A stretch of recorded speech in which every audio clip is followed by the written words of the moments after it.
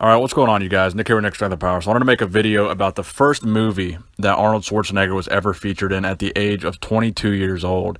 So this movie was called Hercules in New York, and it was released in 1969.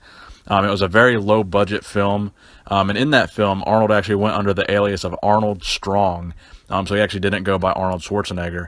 Um, so one of the things that's very, very interesting about this movie role, number one, it was the first movie that Schwarzenegger was in. And number two, this role was actually an award uh, for winning the 1968 NABBA Mr. Universe. So the 1968 NABBA Mr. Universe, um, the show was uh, Arnold Schwarzenegger won the pro division, and Dennis Tinerino won the amateur division.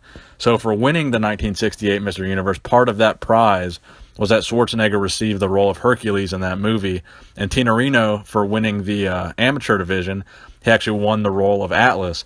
So that was one of the prizes that they offered at that year's Mr. Universe. So I, I thought that was a very cool um, fact in bodybuilding history that this was actually a movie role that was awarded at the Mr. Universe competition. So this would also be the same year that Arnold was offered a contract from the Weider brothers. Uh, Dennis Tinerino was he was also offered a contract, but he actually turned it down. So winning the 1968 Mr. Universe was a very big victory um, in Arnold Schwarzenegger's book. So he did win the year prior. So basically, if you don't know anything about the NABBA Mr. Universe, the NABBA Mr. Universe competition obviously was one of the most prestigious titles that you could win in bodybuilding um, throughout the 50s, 60s, and 70s. Um, so he did win in 1967, but the NABBA Mr. Universe has an amateur Mr. Universe and a pro Mr. Universe. So the year prior in 67, Arnold won the amateur and Bill Pearl won the pro division. And at the 67 uh, amateur division, Arnold and this Dennis Tinerino bodybuilder, they were going head to head at that at that year's universe. So the following year, like I said, Tinerino would win the amateur, and then Arnold would win the pro. So Dennis Tinerino is another legendary bodybuilder that you guys can expect to see a video about very very soon because he's definitely uh, he definitely had a great classic physique, and there's a lot of history surrounding his career and his personal life as well that I think would make for a pretty good video.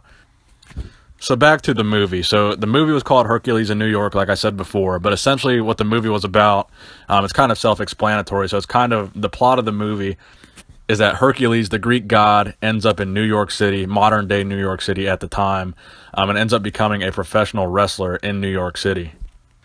Then essentially from that point on, the plot of the movie is kind of Zeus, who in mythology is uh, Hercules' father, is kind of embarrassed by the fact that Hercules is doing this and you know, kind of carrying on and having these antics in New York City. So the plot of the movie is kind of Zeus trying to get Hercules to come back um, and quit messing around down in New York. So that's basically Arnold Schwarzenegger's first major movie role. So I thought that was a pretty interesting uh, piece of information that you guys might enjoy. Um, so if you guys haven't seen that movie, I highly suggest you check it out. It's pretty funny.